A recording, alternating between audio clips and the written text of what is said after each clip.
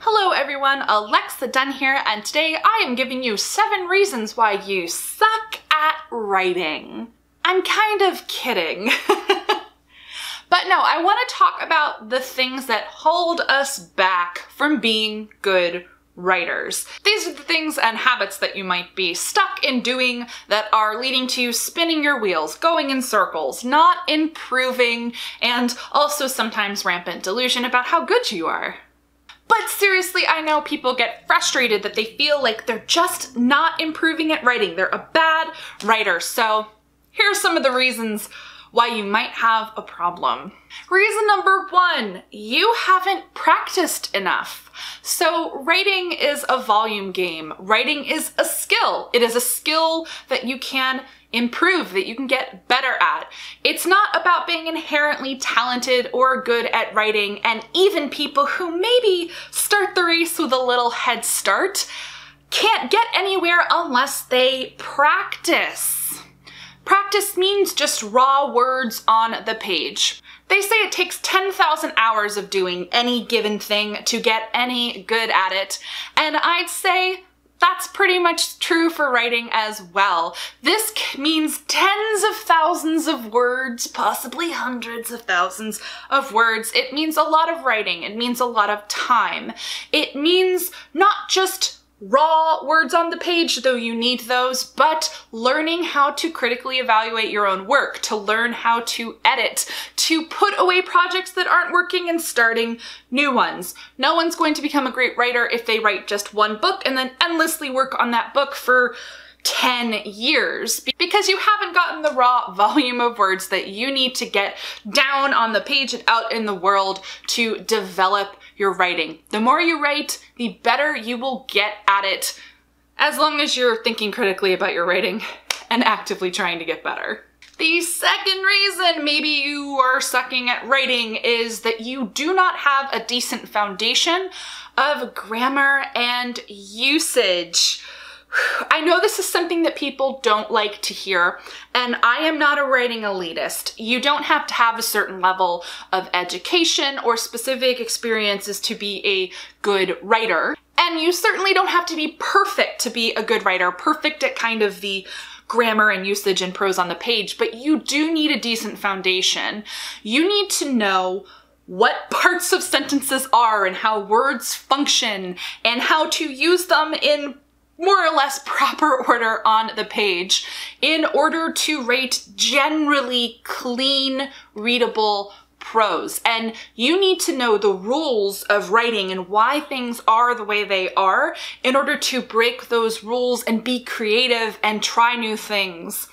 But generally speaking, bad writing, kind of like base level bad writing, is messy uh, things don't make sense. The punctuation is a mess. And these things, these kinds of errors and problems, they literally disrupt readers as they're reading them. Like eyes trip over things and no one likes to do a ton of work when they are reading. Work to understand. You need that base kind of level in the writing to be seamless so that you can actually deliver story to people. People don't want to be constantly distracted by errors, and so you do need a decent grasp of grammar and usage. So if you're a young writer and you're in school, pay attention in class. They're going to make you learn these things. It sucks. I hated my grammar lessons, but I'm thankful for a lot of them because, you know, that teacher who really took me to task on passive voice actually taught me something about clear active prose. So if you're still in school, pay attention kids. Now, if you are out of school, you can teach yourself grammar. There are courses you can enroll in. There are free resources on the internet with kind of grammar concepts and rules that you can read up on with lots of samples, and I'll link to some resources down below. There's also tools I haven't tried them myself, but there's tools like Grammarly that are supposed to help with those sorts of things, though I think relying on computer programs is dangerous because we all know that stupid paperclip in Microsoft Word makes really dumb suggestions a lot, and ultimately, a human being understanding how things work is then going to be the best person to take creative license and push the envelope and make things work and make those final decisions. So I do think it's worth investing in learning that foundation of grammar and usage yourself. The third reason your writing might suck is you don't have a firm grasp of story structure. So this is the 201 that's going to go on top of that grammar and usage thing. So you got some clean prose. The sentences make sense. They're generally good to read. But if you have no sense whatsoever of what makes a good story, you're gonna bore the shit out of your readers or confuse them, or they're just not going to care. And you're going to lose them. Very often, most critically in work I read that just, it's plotting, it is objectively bad is that it's lots of navel gazing and nothing happens. The characters are flat. Learning about story structure, whether you read books or take a class or just ingest a ton of stories and start and see what kind of master crafters of story are doing, is that you start to see that it's dynamic characters. It's characters who start in one place and end up in another. It's arcs, it's growth, it's change. It's hitting specific emotional beats in a story. Story beats are essentially emotional beats because you need your readers to feel things at specific intervals, approximately. And it is just, you need things to happen. You need to have conflict. You need to have stakes. And really, under the umbrella of you might suck because you don't understand story structure is not understanding all of this craft stuff I just spewed at you out of my mouth. And the way to fix this, I kind of just rattled it off. You can take a class, you can read craft books, you can just ingest a ton of expertly crafted stories. And some of us are osmosis learners, and we can kind of figure it out by doing that. You can seek out resources on channels like this or podcasts. Whatever kind of learning mode works best for you. This goes for grammar too, by the way find those resources and ingest that information. You know, if you're a visual learner or an oral learner, put in the time and the investment to learn about this stuff. Doing so is essential for leveling up your writing and sucking less. And this brings me to the fourth reason you might suck at writing, and that is you don't read. Now, reading is not a magic fix-all solution. Darned if we don't know avid readers who still manage to vomit out a book and you read it and you're like, but you're a reader, why isn't this better?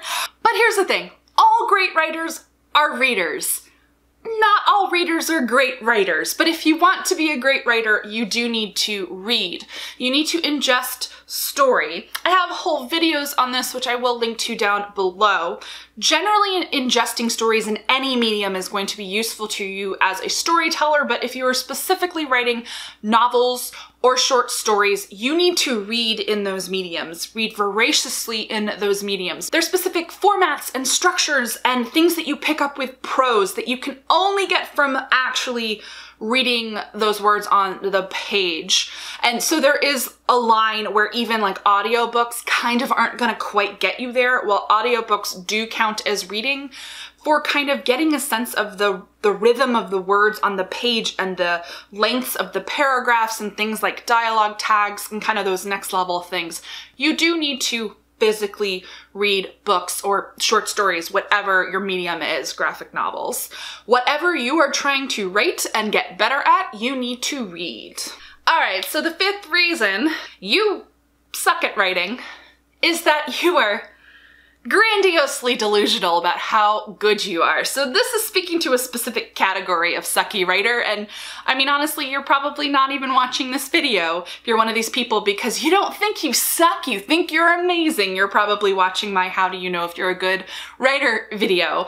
And in that video, I talked about the Dunning-Kruger effect, which is this phenomenon where very often the most confident people have the lowest skill level. And the thing is, when you sit in that space where you are so confident that you are amazing and you refuse to listen to any criticism, you refuse to do any work to get better, you're gonna suck. You're never going to improve. And very often, the writers I see with the most aggressive bravado about how they don't need to listen to, to me or to other people or, oh, this, all of this stuff is stupid. I don't need to know grammar or craft or any of that stuff.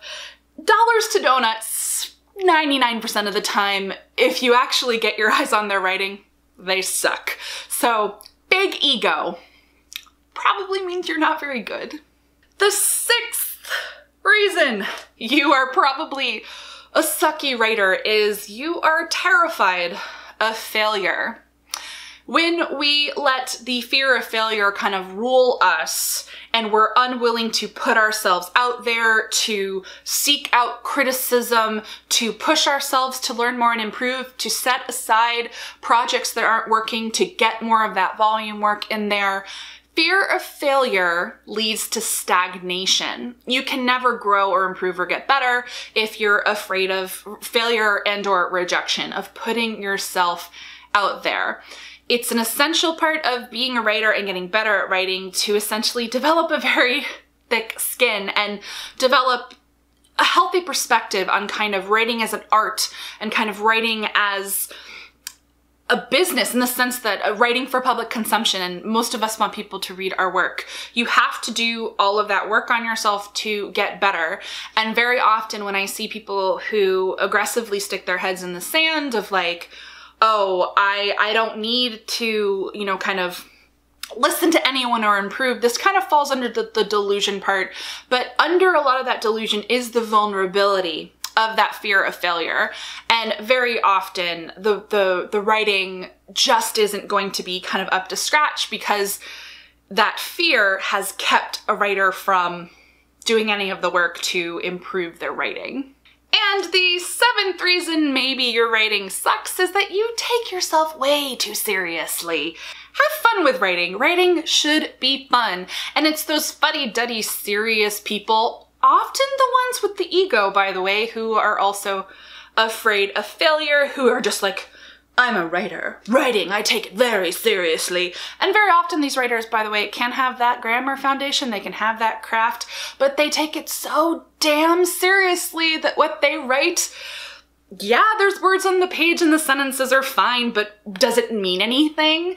I find that writers that take themselves way too seriously, again, very often fall into that ego trap and are just way less likely to be any good. Lighten up, have fun, put yourself out there.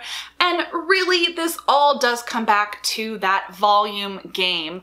Write a ton, write more, write for fun, because if you're not writing for fun, why are you writing? And I promise, sucking at writing isn't a life sentence. We all at some point suck at writing, but it's all about kind of writing more and trying different things and putting yourself out there and working to improve. And if you are here because you're afraid that you suck at writing, I will also refer you to my Are You a Good Writer video where I deliver the good news that if you're even contemplating this question, you have a shot, baby. You're on your way. You're probably better than you think or can get better than you are now. You're really only kind of doomed if you get stuck in that ego piece, but yeah.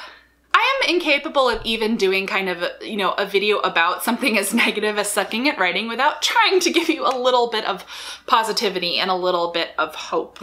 Let me know down below in the comments, how do you know that someone sucks at writing? Like, what are the signs that you see in bad writing? Though I guess bad writing is a whole other topic that I should probably cover in a video, but give this video a thumbs up if you liked it and I'll make a video about how to know that if writing is bad. Yeah, we can do that. And if you're not already subscribed to the channel, go ahead and do that. I post new videos two to three times a week. Thank you so much for watching, and as always, guys, happy writing.